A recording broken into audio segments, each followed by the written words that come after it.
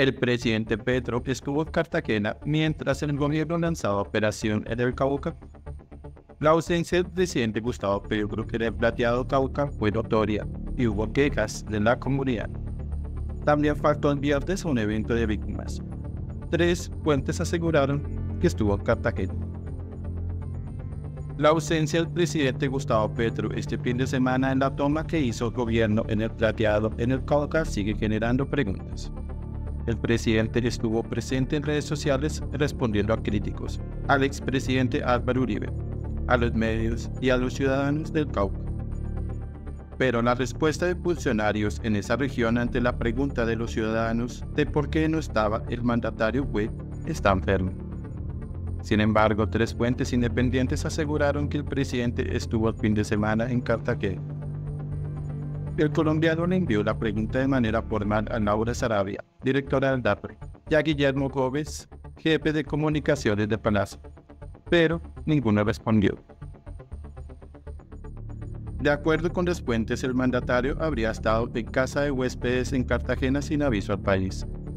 Los periodistas que cubren Palacio tampoco tuvieron reportes de cambios en la agenda durante el fin de semana algo que es poco usual con el cubrimiento periodístico a presidentes del mundo, pues siempre se sabe dónde están con lo general los jefes de Estado. Las ausencias del presidente Petro. Esta no es la primera vez que ocurre un hecho similar. Petro ha evadido unas agendas de manera reiterada y en numerosas ocasiones no se sabe en dónde está.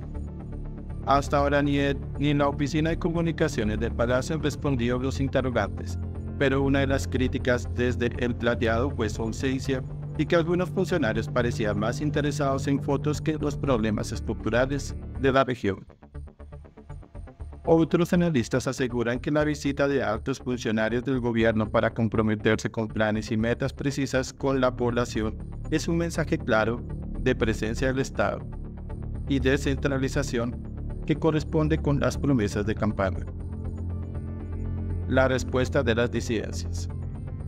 Las disidencias respondieron en varias regiones de Cauca con ataques en Silvia, Argelia y Suárez, y también hubo un atentado más a una patrulla de la policía en Tesalia, Huila, con ráfagas de fusil.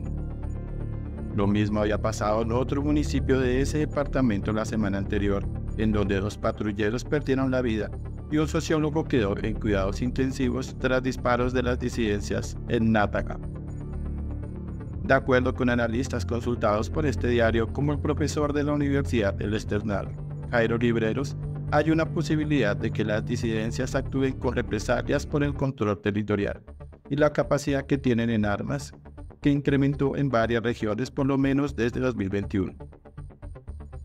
Aún no se explica por qué Petro no estuvo presente en el Cauca, puesto que una de sus banderas desde que llegó al gobierno es la recuperación del cañón del Micay, la defensora del pueblo Iris Marina habló del problema en el territorio con vulneraciones a los derechos humanos por desplazamientos forzados y Naciones Unidas también respondió a un informe del gobierno alertando sobre condiciones humanitarias por el crecimiento del conflicto.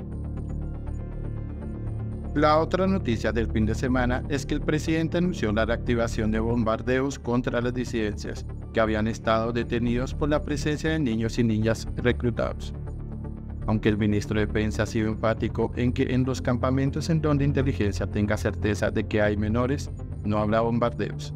El presidente no había anunciado tal reactivación.